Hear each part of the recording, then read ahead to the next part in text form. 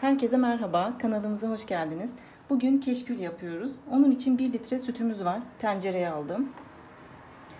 1 su bardağı toz şekerim var.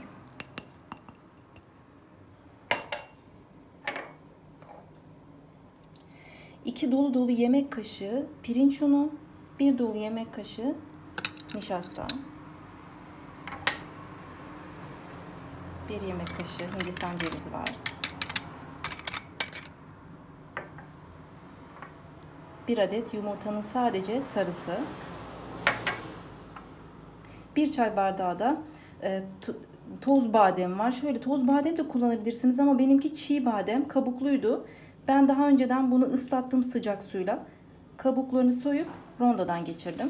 Dilerseniz bu şekilde yapabilirsiniz. Dilerseniz hazır toz badem de kullanabilirsiniz.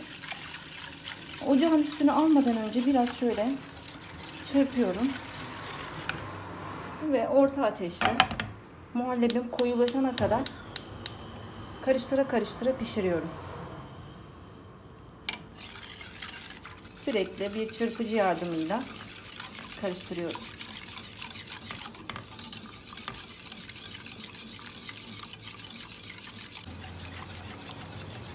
Keşkülüm henüz koyulaşmaya başlamadı.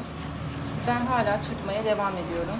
Hiçbir şekilde bırakmıyorum. Karıştırarak pişireceğiz koyulaşana kadar.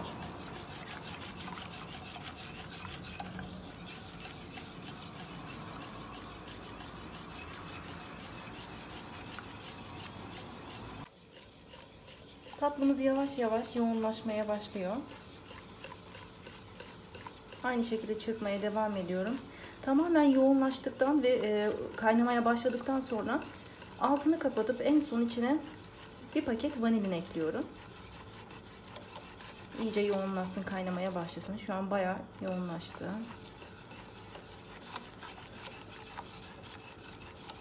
O köpüklenme olayı bitti zaten üstünde. Tatlımız artık iyice yoğunlaştı. Fokurdamaya başladı yavaş yavaş. İyice fokurdadıktan sonra altını kapatıp vanilin ekleyeceğim. Daha sonra kaselerimi alacağım. Servise hazırlayacağım.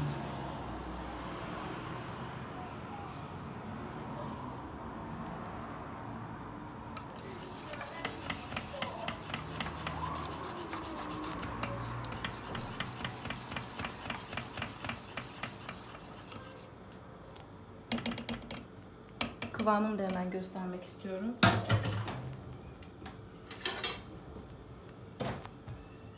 Bu şekilde bir kıvamımız var. En son bir paket vanilyamız var. İlave ediyorum içine. Altını kapatıyorum. Vanilini de iyice yedirdikten sonra kaselerimi alıp servise hazırlayacağım.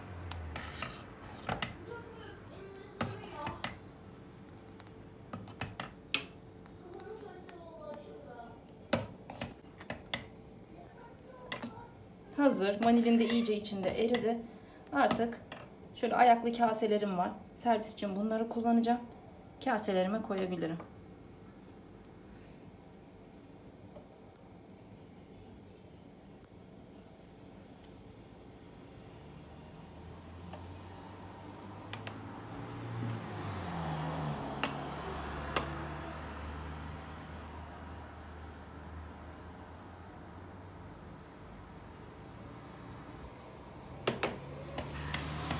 En son üzeri biraz kabuk bağladıktan sonra tatlım soğuduktan sonra süslemesini yapacağım.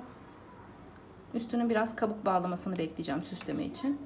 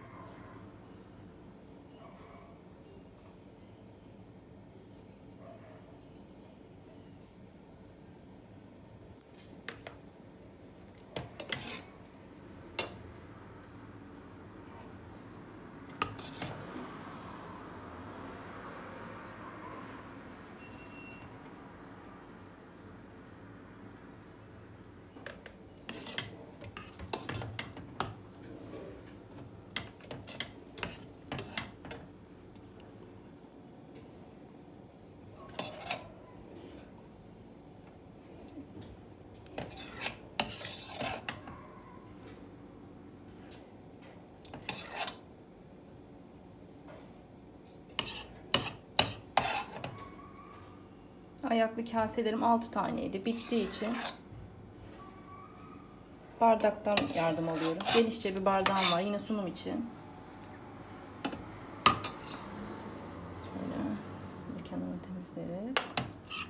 Üzerleri soğuduktan sonra süslemesini yapıp servise hazırlayacağım. Soğuk bir şekilde servis yapacağız.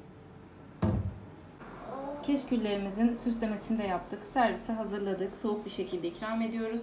Deneyecek olanlara afiyet olsun. Kanalımıza abone olmayı ve videomuzu beğenmeyi unutmayın.